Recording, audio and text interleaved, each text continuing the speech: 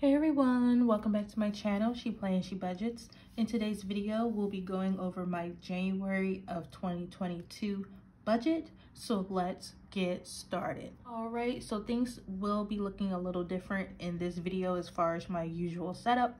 Normally I have my happy planner um, out with my pages cut and trimmed and hole punch for the happy planner. But I did decide for this year to switch back to an Erin Condren 7x9 monthly planner. I'm waiting to receive that in the mail. And then I also purchased a bunch of stickers from, from Romina Rosa because I will be going back to um, sticker planning. I mean, I use stickers anyway, but like as far as my budget sheet layouts, I'm going to go back to using uh, stickers for that just because I kind of miss it and I like how things are just like you know, nice and neat, colorful, blah, blah, blah. Um, I do like my budget sheets. I'll probably like go back and forth throughout the year between using my budget sheets and my planner because, you know, buying stickers monthly can get expensive. So it'll, it'll most likely depend on how I'm feeling each month on, you know, purchasing stickers each month from various sticker shops. Right now, um, I'll probably be sticking with Romina Rosa because I did buy stickers stickers from her for the month of January and February. So when I get those stickers in, I'm going to set up the month of January.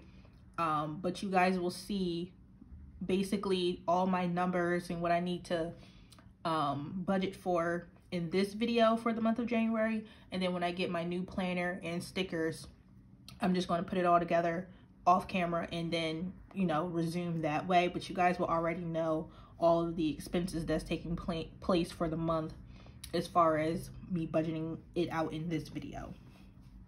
All right, so basically, um, I am just using up stickers I currently have since I'm waiting on my new stickers to arrive.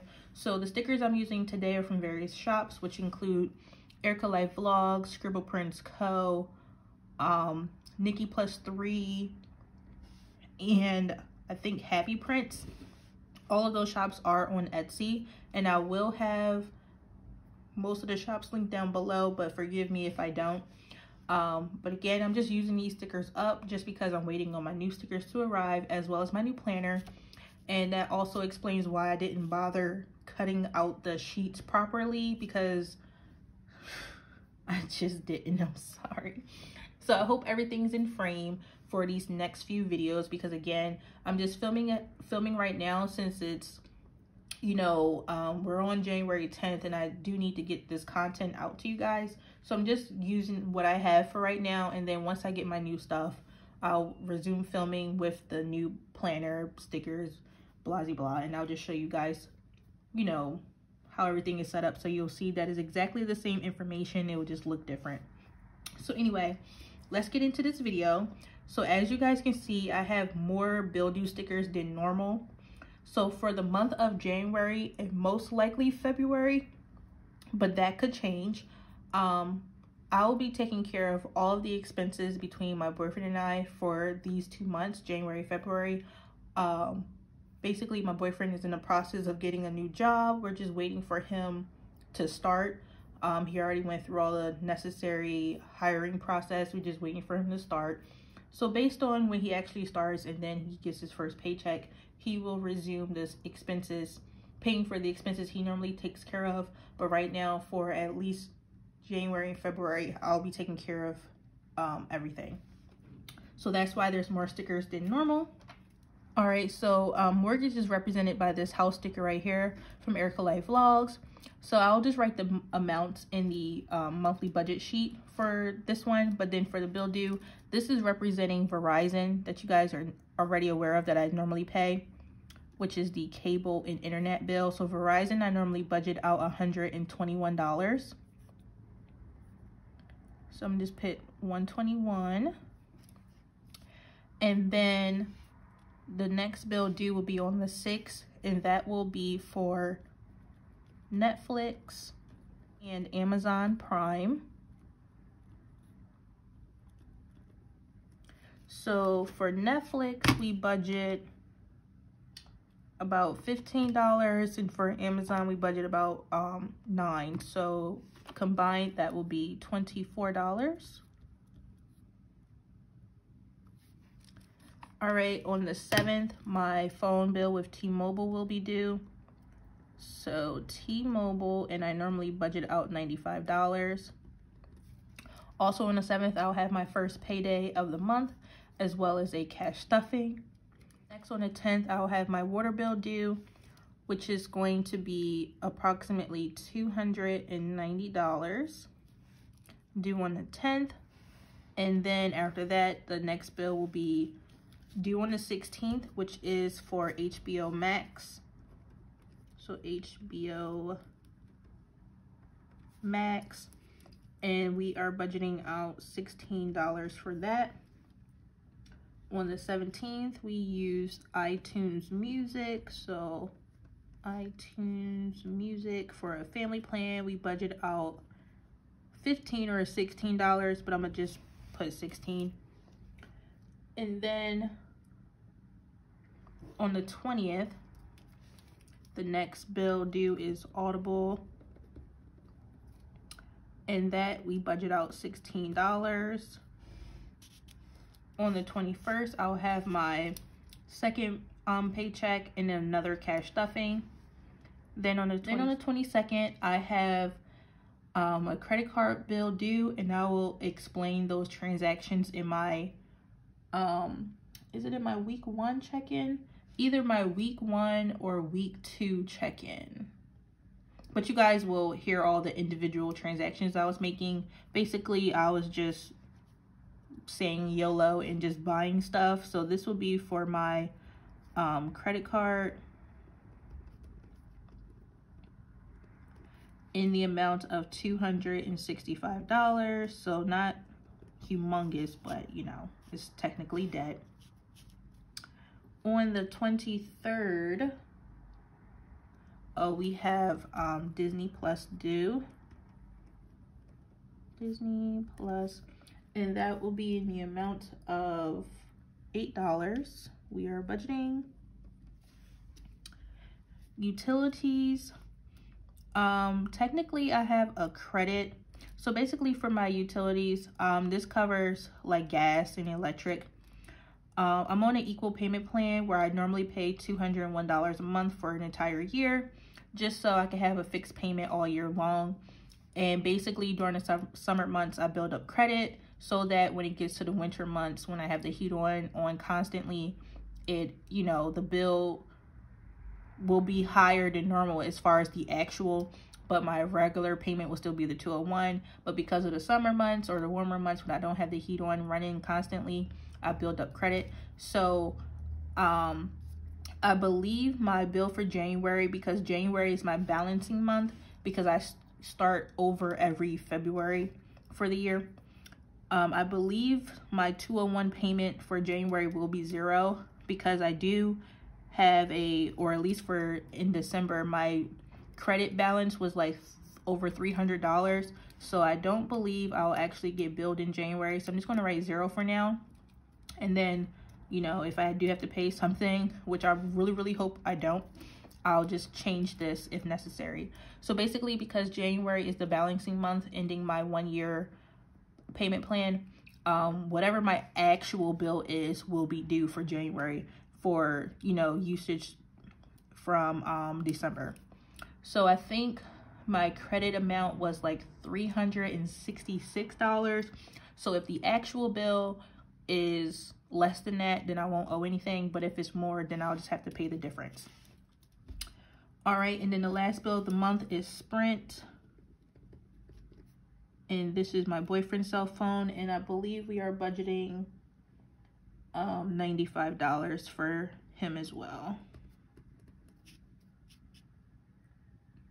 And I'm just looking at my little cheat sheet off to the side to make sure that is everything.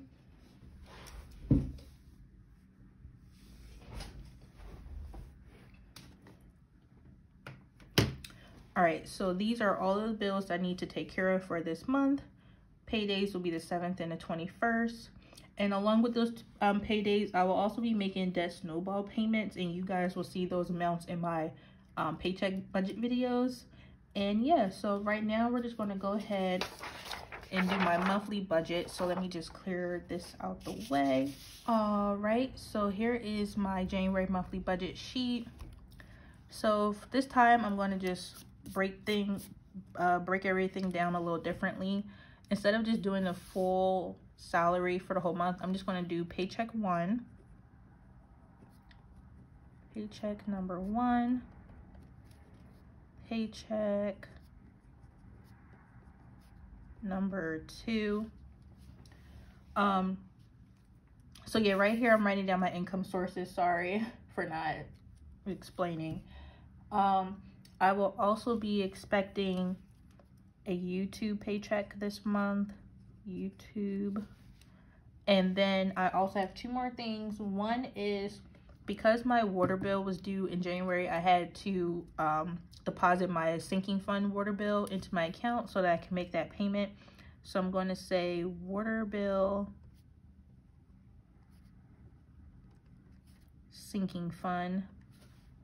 And then last but not least, I did roll over an amount from December. So I'm going to just call this December's rollover. And this rollover went towards debt. All right, so for paycheck one, um, for the ending of 2021, I did get a pay increase. So now I am expecting $3,017.92 um, for my paychecks. We did get a little bonus at the end of last year, which was great. So 3017.92 is the expected. For YouTube, I am expecting $104.65. For my water bill sinking fund, that total saved was $213. And if you call with the water bill that I budgeted was $290, so the bill was more than what I saved up. So I will need to add some money from my paychecks to make up the two the difference of the 290 from the 213 and I will get into why the bill was more in a second.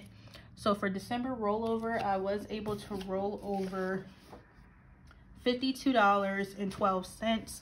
And when I say rollover, this is the amount that was left over from week one of January. So technically that video isn't up yet, but once I do upload it, it will make sense. So basically I had money left over from my cash envelopes and that amount I'm rolling over into a debt snowball payment. So I'm just marking it here. So when we do my final numbers uh, to see how much I'm able to put towards debt, it will add up correctly.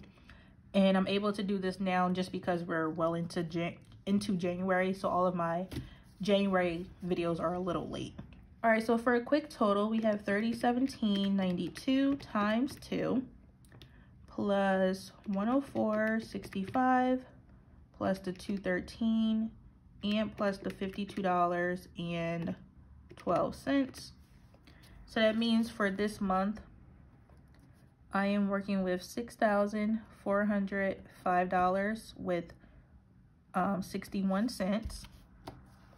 And for my fixed expenses, I'm just going to go ahead and write all the expenses you see me um, write down in the monthly view. So one second.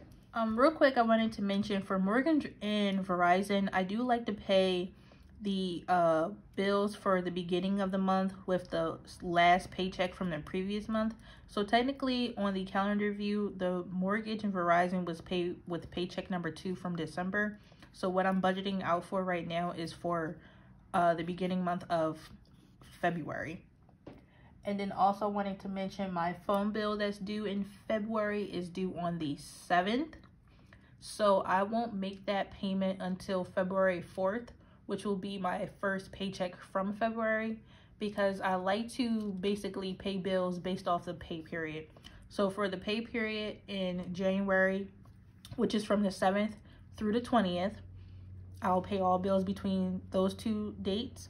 And then from paycheck two, which is January 21st through February 3rd, I'll pay all bills between those two dates. So because my February phone bill due on the 7th falls outside of February 3rd, I'm going to use paycheck number one from February to do to make my phone bill payment for T-Mobile. So I'm not going to include that here. Mortgage, this is normally budgeted for 1064. Verizon is 121, Netflix is 15, Amazon is 9, water bill we're budgeting 290. And sorry if this is sloppy and all over the place. I'm just discombobulated since my videos are so late. So again, I apologize. After that, we have HBO Max due on the 16th. And we're budgeting $16. Then we have iTunes Music due on the 17th. We're budgeting $16 as well. Audible due on the 20th. Budgeting $16 again. Disney Plus.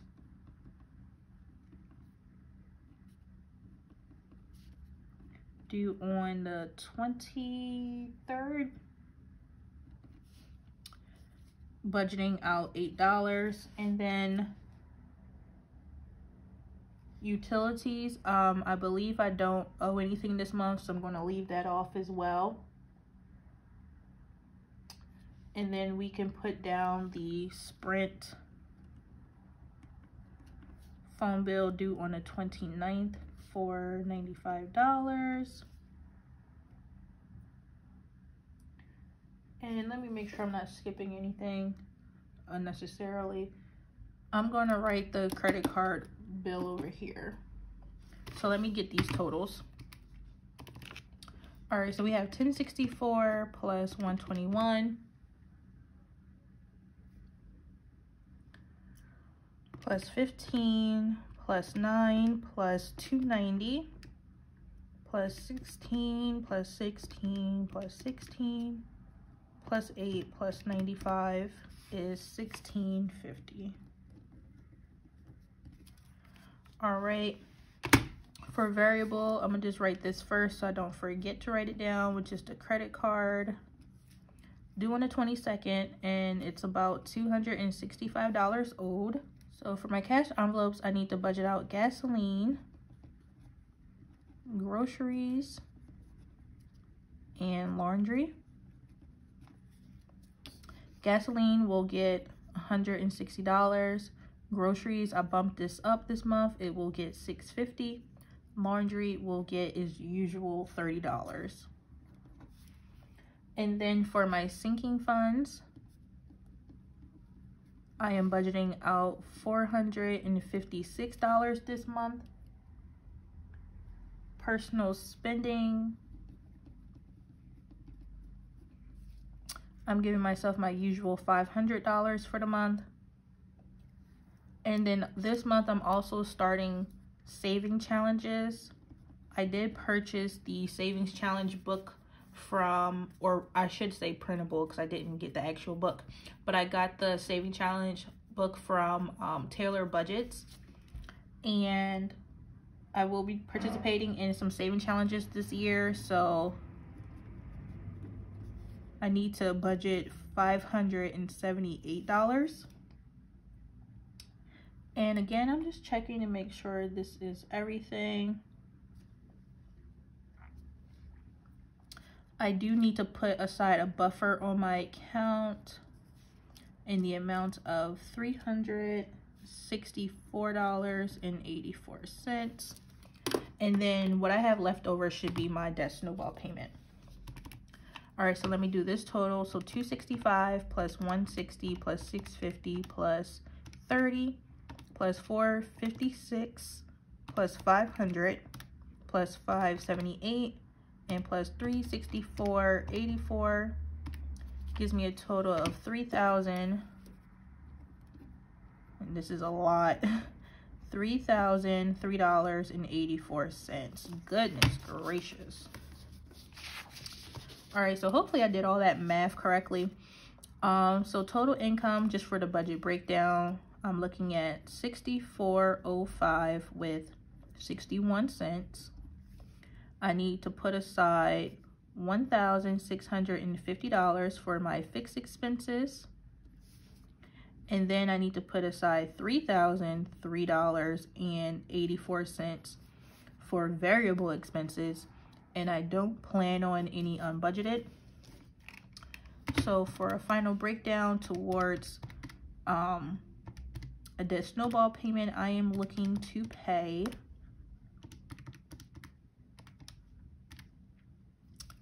$1,751.77 this month. So hopefully I can make that happen. So um, that is everything I have for today's video. Um, thank you all so much for watching. Please be sure to like, comment, and, and subscribe down below. And I will see you all next time. Bye.